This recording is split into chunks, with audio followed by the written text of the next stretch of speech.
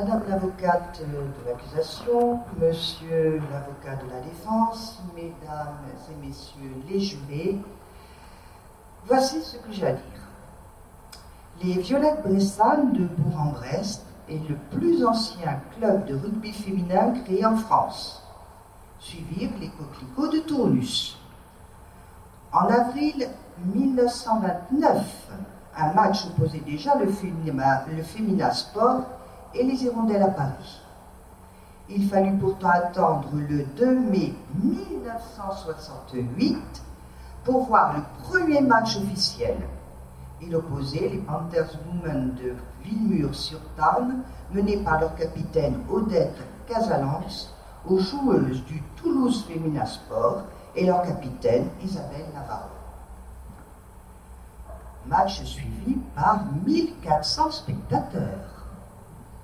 Le premier championnat de France a lieu en 71-72. Les Françaises disputent leur premier match international en 1982 et participent à la Coupe du Monde féminine. La France participe également au tournoi Destination créé en 2001, qu'elle remporte cinq fois en 2002, 2004, 2005, 2014 et 2021. Le rugby féminin français compte aujourd'hui plus de 150 clubs et plus de 25 000 licenciés.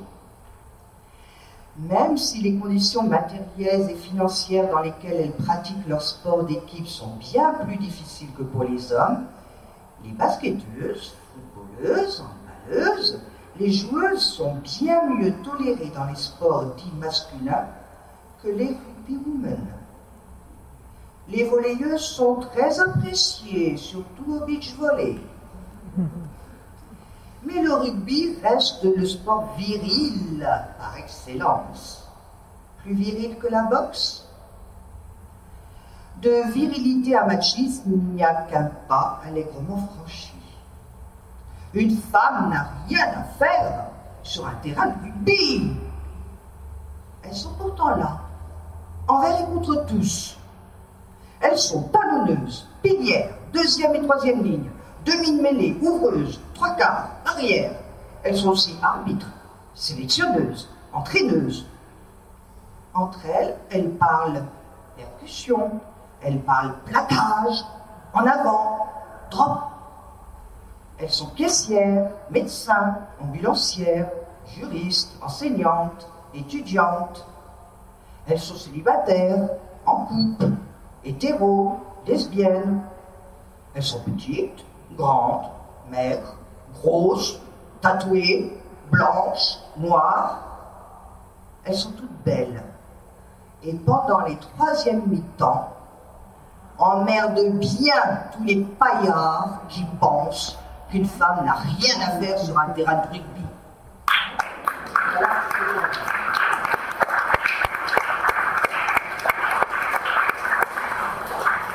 Merci, témoin Carole Laforêt. C'était un texte de François Chadbec, vous l'aviez compris.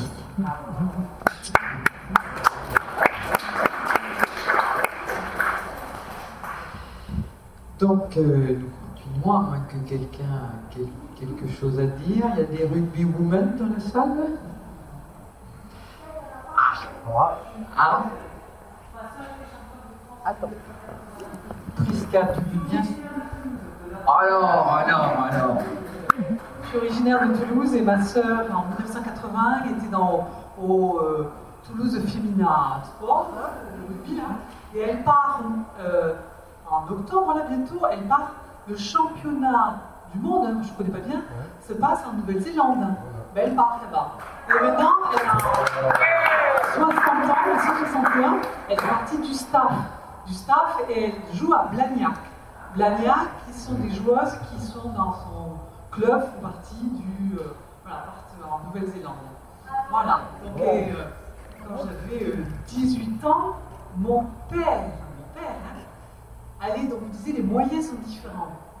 Quand il allait voir ma sœur jouer, à 18, ans, 18 mois de plus que moi, c'est ma sœur, ma sœur aînée, il avait un seau d'eau avec une énorme éponge, et j'ai encore l'image de mon père quand il y avait des joueuses qui étaient sonnées, quand elles faisaient les mêlées, il allait avec son seau et l'éponge, l'éponge d'eau sur la tête pour les.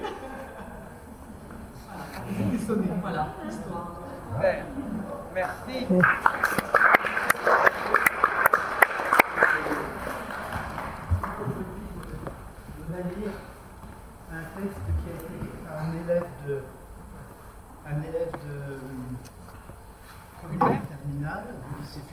Euh, dans le cadre d'une exposition de photos où justement il y avait des femmes rugbyman, rugbywoman, dans le cadre d'une euh, finale des jeunes espoirs féminins dont est ma nièce. Cette euh, épreuve. Et voilà ce qu'a écrit Charlotte M. et Maëlys M. Un sport d'homme.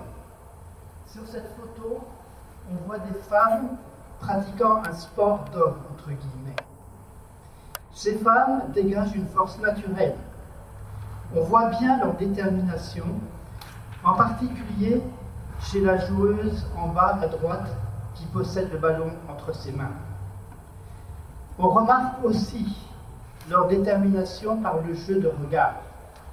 Elles ont toutes le regard posé au même endroit, sur la joueuse qui a le ballon. Cela montre qu'elles n'ont qu'un objectif, avancer et gagner. Le noir et blanc intensifie aussi l'effet de rage et de revanche prise sur la société.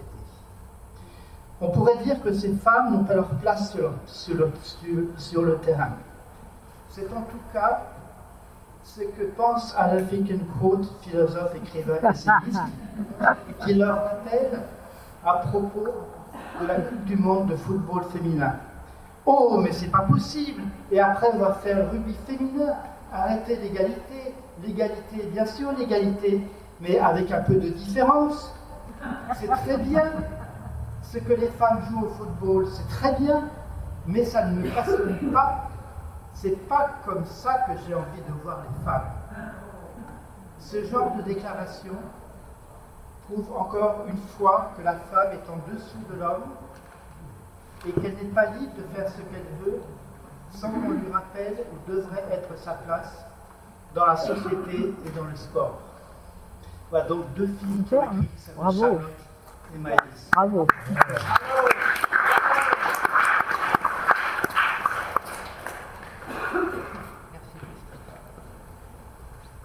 D'autres euh, rugby women Non. Peut-être des vocations que ça va susciter. Euh, Monique Tétoitator euh, dit Pourquoi les femmes sont-elles incapables de certitude face à l'évolution du vocabulaire? N'oubliez pas que moi j'accuse, hein. j'accuse, je vous accuse, toutes et tous. J'appelle à la barre Marie-Christine Bataillard en accusation de troubles dans le genre.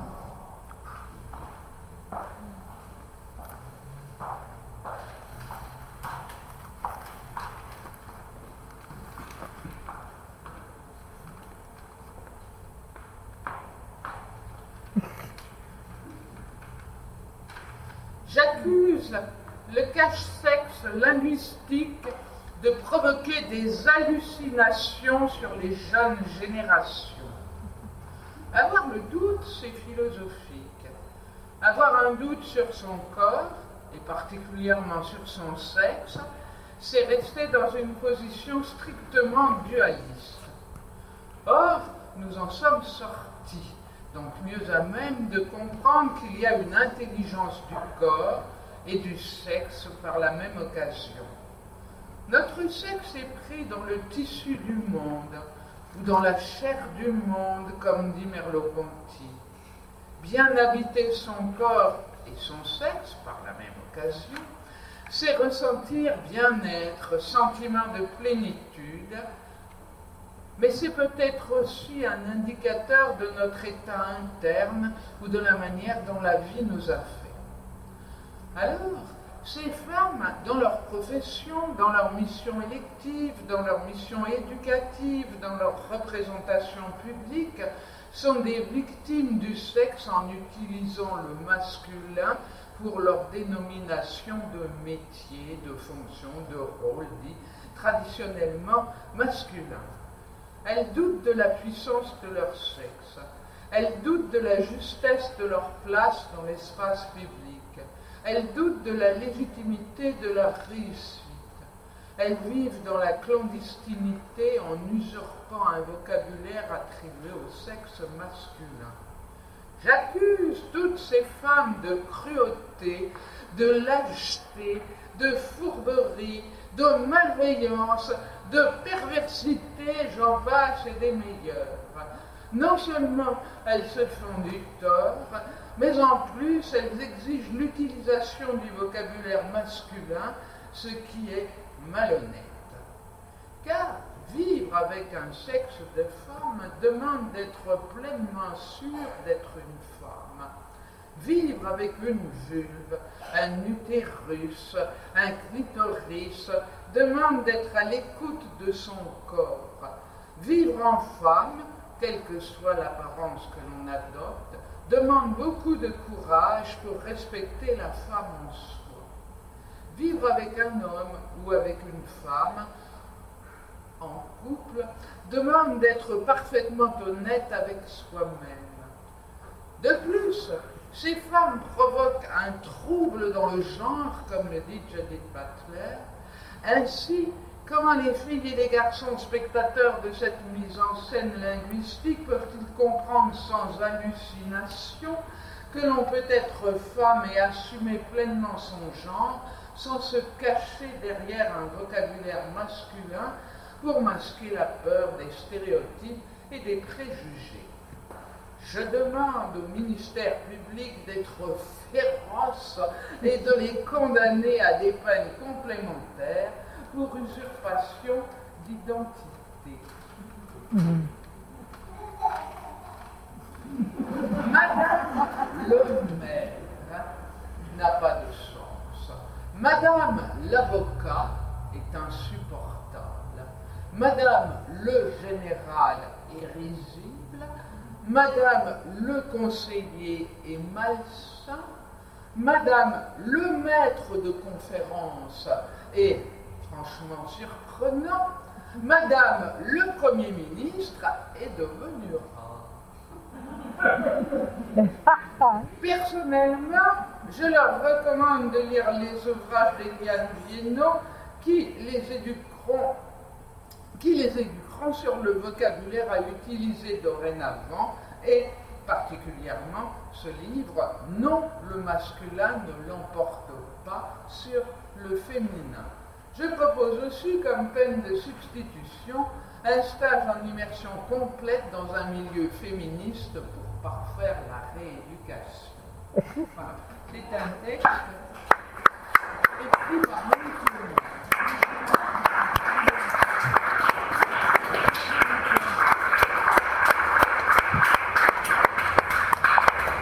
Voilà. Des Non Bon, les accusés. Si, il y en a Ah. Madame, euh, Madame Bouchou, ils se sont accusés. Non, je ne me sens pas accusée parce que je suis, j'étais, j'étais dans une vie antérieure une professeure, eux, à une époque où on se moquait de moi, mais finalement je m'en suis sortie.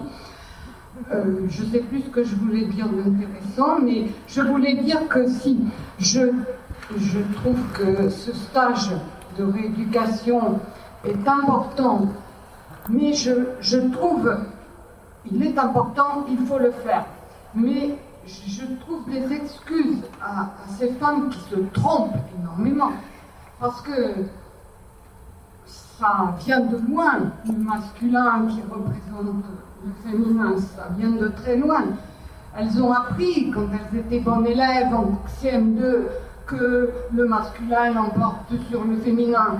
Alors, euh, changer ses habitudes à ce point-là, quand on a été une élève studieuse, qu'on a appris les règles de grammaire, c'est difficile. Et d'autre part, nous revenons de loin, parce que en 1637, je crois, donc c'était il y a longtemps, eh bien, avant 1737, euh, les adjectifs euh, s'accordaient selon la règle de proximité. On disait les hommes et les femmes sont belles, on disait les femmes et les hommes d'Orléans sont beaux. C'était la règle. Et puis voilà que M. de Vaugelas a décidé que le masculin l'emporte sur le féminin. Donc nous traînons ça depuis très très très longtemps.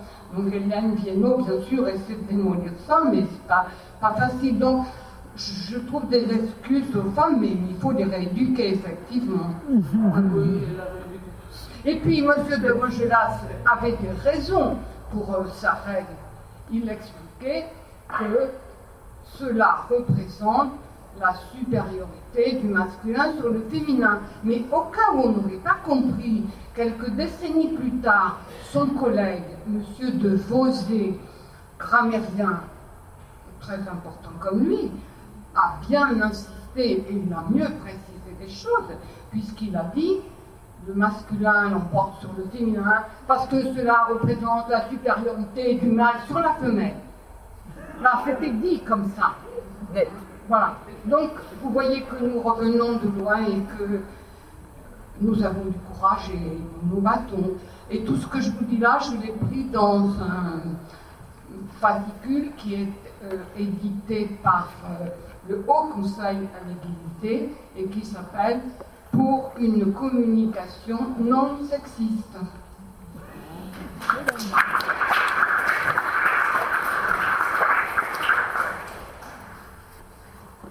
Monsieur va peut-être se sentir accusé aussi.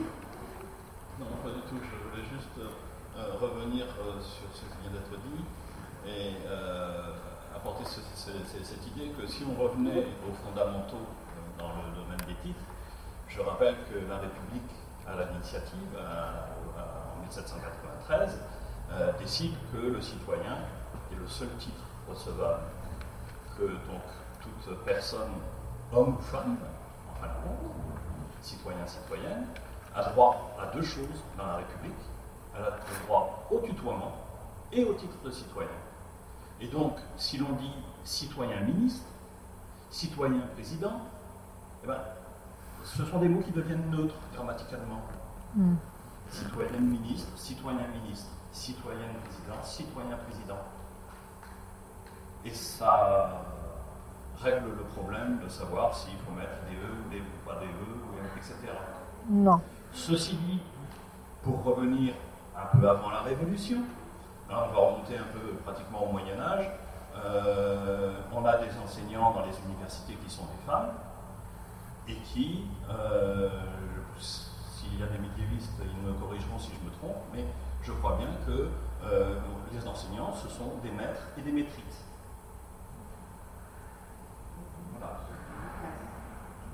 Non, mais vous avez raison, il faut accuser les femmes, ça suffit. Hein.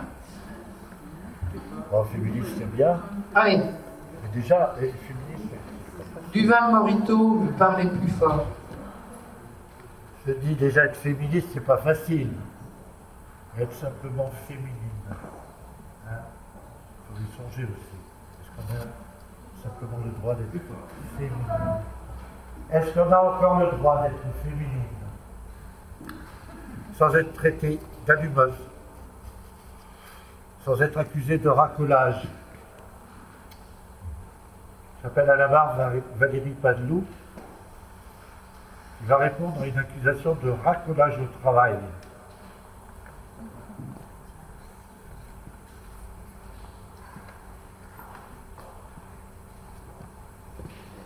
Madame, suite à de nombreuses remarques et plaintes de votre entourage, votre entourage professionnel, à savoir de certains de vos collègues ou de certains membres de votre hiérarchie, mais aussi, et cela est bien plus grave, de certains clients, il vous est reproché de vous livrer à un usage abusif et intempestif de dégrafage du troisième bouton de votre chemisier.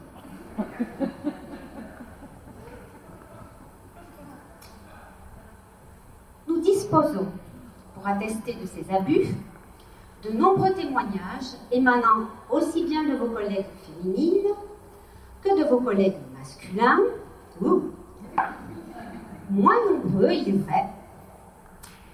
Ces agissements viseraient selon eux à obtenir, au prétexte d'une inattention ou d'une maladresse, des faveurs, mais aussi des soutiens ou des avantages de la part de certains membres du personnel ou de certains clients. Plus grave, cette pratique, apparemment innocente, vous servirait d'argument ultime pour parvenir à vos fins lorsque vous vous trouvez en délicatesse pour défendre un projet, un point de vue face à la hiérarchie.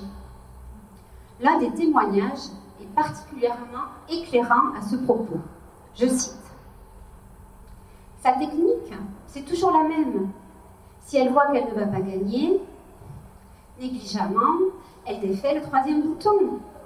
Elle vous fixe droit dans les yeux. Elle provoque ainsi un grand trouble chez, son interlocuteur. Et oui, évidemment, il ne pense qu'une chose. Et elle prend rapidement le dessus. Elle arrive ainsi presque toujours à ses fins. Fin de citation. Nous pensons que ces pratiques de starlet, courantes aussi chez certaines présentatrices ou journalistes de télévision, doivent être réservées à la sphère privée.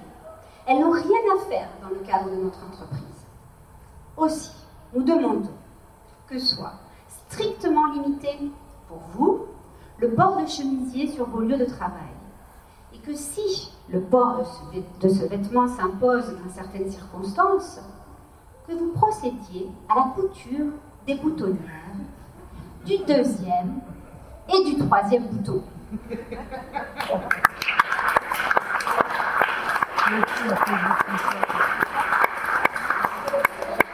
Ce texte a été écrit par François Chadebec.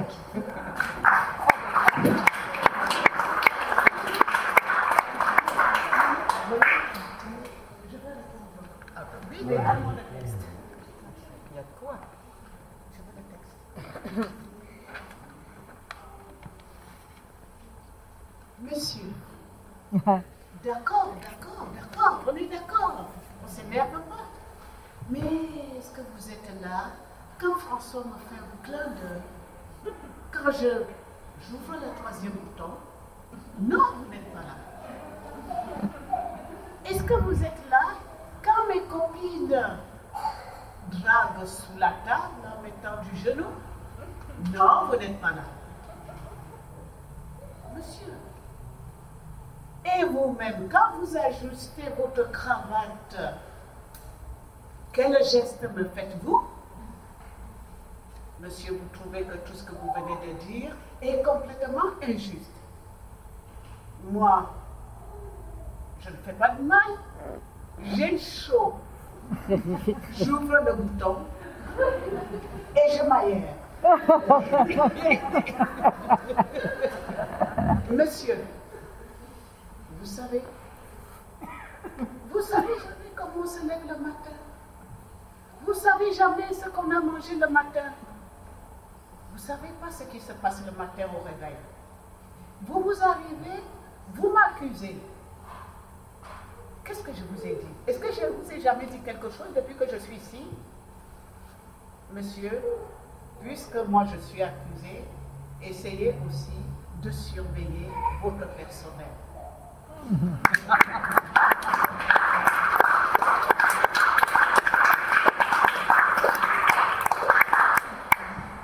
Il y a du répondant hein, dans la salle. Bien. Alors, cette histoire de dégrafage du troisième bouton, Monique, toi t'as tort.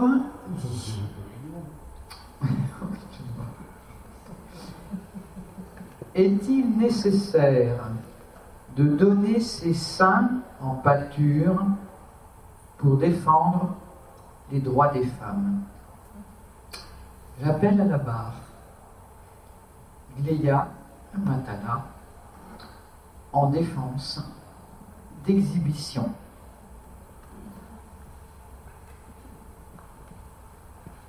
je représente celle. Voilà. Mars 2013, au tribunal de Tunis. Messieurs les jurés, Monsieur le Président, aujourd'hui, nous avons un procès à part, du jamais vu en terre d'islam. Vous voyez, elle a osé, elle a osé, elle a osé enlever ses affaires. Hein? Pendant que d'autres, pendant que d'autres prennent le foulard, que d'autres sont de plus en plus pudiques, eh bien, elle a osé. Faites-la venir, cette, cette, comment je vais dire, cette honte, cette vilaine. Ah non, monsieur, pas du tout. Vous faites, vous faites, vous avez tort. Hein? Je, je ne suis pas une honte, je ne suis pas une vilaine, je ne suis pas une puce. Je suis Amina. Je suis Amina. Et je l'ai fait sciemment. Mon corps, mes seins, ça m'appartient. Je le referai et je le referai d'abord pour moi-même, parce que mon corps, il est à moi. Mes seins sont à moi. En terre d'islam ou en notre terre, ça n'a pas de sens. Pour moi, je l'ai fait pour dire que je le fais pour moi et pour toutes ces femmes que vous êtes en train de voiler, de tuer après, soi-disant, une révolution. Regardez comme elle est, hein? Regardez, elle n'arrête pas comme elle est, comme elle est euh, insolente. Non, non, non, non, monsieur. C'est vous qui êtes insolent. Regardez, tous ceux qui vous entourent, est-ce qu'il y a une seule femme? Y a-t-il une seule? Où sont passées les autres femmes? On est là Non, non, non, j'ai pas fini. J'ai pas fini, monsieur, s'il vous plaît. J'ai. Comment tu fais? Qu'est-ce que tu as fait, toi? Eh ben, j'ai pas fait grand-chose. J'ai tout simplement posté mon corps. Mais parce que mon corps m'appartient. Le Facebook, les, les, les, réseaux sociaux, ça sert à quoi? On, fait ce qu'on veut. Eh bien, moi, j'ai fait ce que je veux. L'avocat, il est gêné. Qu'est-ce qu'il va dire? On est quand même en terre d'islam et on ne milite pas avec les saluts. Ah, c'est compliqué tout ça. Mais tais-toi, Nina. Mais je t'ai dit de ne pas. d'être un peu humble, de ne pas en, faire trop. Hein? On est quand même en, tribunal. Mais votre tribunal, moi je m'en fous. Mais je, ne suis pas devant un tribunal, je suis devant une liberté. Vous n'avez pas compris que je fais un discours différent, moi. Emmenez-la, emmenez-la, emmenez-la. On amène Amina, et voilà une autre Amina qui arrive. Elle arrive d'où, Amina? Elle arrive du Brésil. Ah non, non, non, non, non. Silence, silence, qu'est-ce que c'est que ce bruit? Eh bien, il y a une autre Amina qui arrive. I am Amina, who are you? Who are you? Mais je suis le président, je suis le procureur de la République, je suis l'avocat, je suis. Ah non, non, monsieur, il s'agit. Cette question, vous, vous n'y comprenez rien. C'est un truc de femme. Vous n'avez rien à voir, vous n'avez rien compris. Pourquoi vous n'avez rien dit sur le foulard? Pourquoi vous n'avez rien dit sur les femmes qui vont dans le djihad? Vous avez vu seulement mes ça Eh bien, ça, c'est ça, ça ne vous appartient pas. Encore une Amina qui arrive. Et voilà encore une autre. My body is for me. Freedom for Amina. Voilà la française qui arrive et avec elle l'allemande. Ah ben on a le monde contre nous, hein. On ne sait plus quoi faire dans ce pays de merde. Hein. Nous sommes quand même dans un palais de justice. Emmenez-les toutes, emmenez-les toutes. Et voilà le procès, ou le faux procès, ce n'est pas un faux procès, c'est un vrai procès en marge 2013, soi-disant en marge d'une révolution. Et voilà un autre aspect de la révolution. Amina et le Femen, Tunisie, où le militantisme des saluts en terre d'islam, c'est vrai. Ça, ce n'est pas, ce n'est pas de la fiction. J'ai fait seulement le montage. Merci.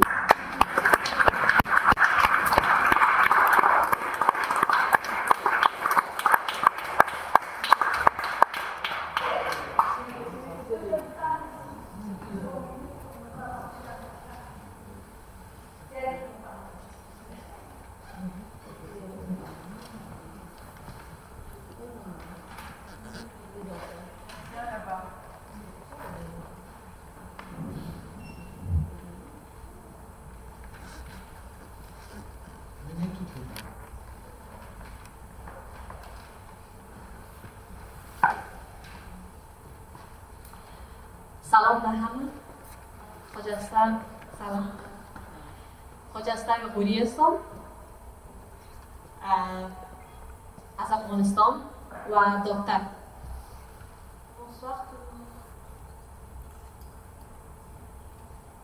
Bonsoir tout le monde. Euh. Euh, je m'appelle Kojasta Gori d'Afghanistan, une médecin. امشب امشب به خاطر ای آمدیم که داستان زندگی خودم همراهتان شریک بسازم Ce soir, je suis là pour partager euh, l'histoire de ma vie avec vous. تقریبا یک سال میشه که من فرانسه آمدیم و از فامیل و دوستایم و کارم دور هستم Ça fait un an que je suis en France. Je suis loin de ma famille et mes amis et le travail que je faisais en Afghanistan. زمانی که من مجبور شدم به فرانسه بیایم 23 سالم بود و نو شروع به کار کردم رو در شفاخانه Quand j'ai décidé de venir en France, j'avais que 23 ans et en Afghanistan, euh, j'étais juste euh, bien de commencer euh, de travailler dans un hôpital, euh, être soignant. طالبان باعث شدن که زندگی من تغییر کنم C'est à cause de Taliban que ma vie s'est changée. فعلا شاید از اوضاع افغانستان با خبر باشید که زنان حق ندارند تحصیل کنند زنان حق ندارند در بیرون کار کنند Comme vous êtes au courant de la situation d'Afghanistan, les femmes, ils n'ont pas le droit de travailler, ils n'ont pas le droit d'aller à l'école et ils n'ont pas le droit de sortir. حتی زنها حق ندارند لباسی را که میپوشند رنگش را بر خود انتخاب کنند Même les femmes, ils n'ont pas le droit de choisir la couleur de vêtements qu'ils portent dehors. به خاطری که طالبان میگن همیشه باید زنها رنگ سیاه بپوشند و حق ندارند در بیرون رنگ رنگه را بپوشند Parce que le taliban, il a décidé que les femmes, ils n'ont pas le droit de mettre les autres couleurs que noir.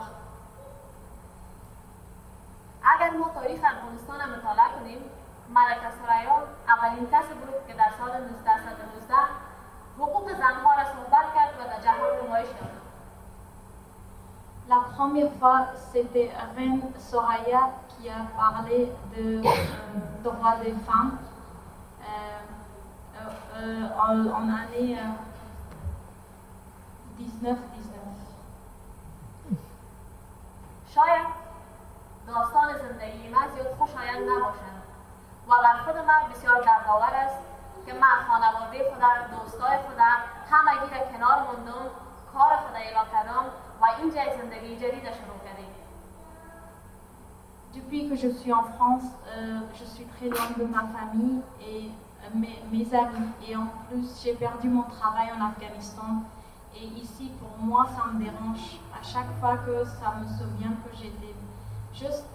en train de commencer ma vie euh, comme une médecin, euh, c'était mon rêve.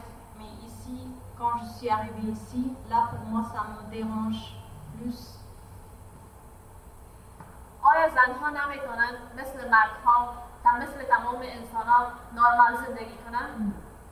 Est-ce que les femmes, ils n'ont pas le droit de vivre comme les hommes et comme les autres humains dans ce monde ما هرگز خاموش نمیشینیم شاید طالبا باعثی شده باشه که من کشور خود از دست دادیم کار خود از دست دادیم حتی خانواده من اما من همیشه در هر جایی که باشم صدا بلند میکنم Peut-être que c'est à cause de Taliban que euh, je suis, j'ai quitté mon pays, je suis venue en France, mais je ne veux pas rester silencieux. Même ici, je vais élever la, euh, le voix pour, euh, pour les droits des femmes. بر من شروع کردن از صفر حتی از اینکه زبان فرانسوی را نمی‌فهمم بر من زیاد سخت است. Pour moi, c'est difficile de commencer à zéro et en plus, je ne sais même pas bien parler français. اما فعلا من احساس می‌کنم که من قهرمان زندگی خودم هستم. چون من تانستیم پنتون شروع کنم سپورت شروع کنم و حالا می‌تونم به خاطر حقوق زنها صحبت کنم.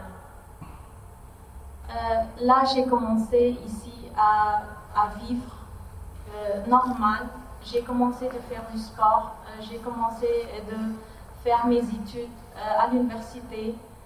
Et, et moi, à mon avis, je suis euh, héros de ma vie. اما من حیث یک دختر من حیث از اینکه یک زن هستم میخوایم صدای ما به خاطر زنای تمام دنیا بلند کنم حتی ایران حتی کشورهای ساوت افریقا و حتی به خاطر افغانستان Je veux élever la voix euh, pour les droits de femmes, même les femmes dans, dans ce monde, en Iran, en euh, euh, South Africa, euh, parce qu'ils ont le droit de vivre comme tout le monde. در کشور من یک زن بر حد تفکر کردن تا اینکه مرد به خاطر اینکه چرا تو بر عقیده و مذهب ما توهین کردیم En Afghanistan, ils ont tapé une femme jusqu'à ce point qu'il est mort. Et ils ont dit pourquoi euh, vous n'êtes pas d'accord avec notre, tout ce qu'on pense dans notre tête. C'était des, euh, euh, c'était des, euh, des hommes. فرخوندم دختری بود که تحصیل کرده بود و اجازه نمی‌داد دیگران در زندگیش مداخلت کنند Farhonda, c'était une femme qui était éduquée et il ne laissait pas les autres qui décidaient à sa place. Mais les hommes, ils l'ont tapé jusqu'à ce qu'il est mort. محسا امینی دختر 23 ساله که در ایران به خاطر که چادر درست نپوشیده بود کشته شد. سی روز پیش. محسا امینی سه این فام ایرانیان این لان توی جست پس که ایلا پا بیان نی سان فولار ما من حیثی زن نمی خواهیم به حق ما و به حق دیگر دختر ها زم شما جو سی این فرم می جو با که لی فرم ایل وی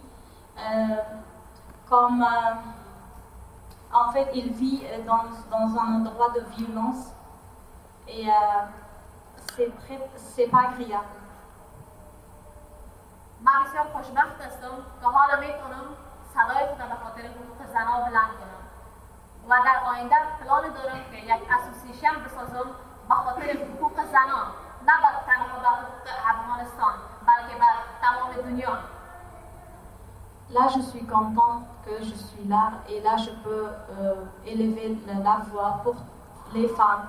Pas que pour les femmes en Afghanistan, mais pour les femmes dans, dans ce monde. Et à la prochaine, euh, en futur, je veux euh, faire une association pour les femmes, pour les droits des femmes. من در افغانستان با وجود تمام مشکلات با وجود که در کنارش باید درس میخواندم من یک فیمینیست بودم و به خاطر حقوق زنان همیشه کار میکردم به خاطر تحصیلشان به خاطر اینکه چگونه کار کنند در محیط کار به خاطر اینکه چگونه حقوق خود را بدانند En Afghanistan, j'étais en train de faire mes études. En plus, à côté, je, je travaillais pour les femmes, euh, pour leurs euh, droits, euh, comment elles travaillent, l'éducation et comment elles vivent mieux là-bas. و تشکری میکنم از شما که قصه داستان زندگی مرا شنیدید Et merci tout le monde pour m'écouter ce soir et mon histoire et l'histoire de les femmes afghanes. اه، و تشکری میکنم از کریستال و منو که مثل خانواده دومم همراه ما بودن Et je remercie Christophe et Mano qui étaient comme ma deuxième famille ici et ils m'ont aidé beaucoup. مرسی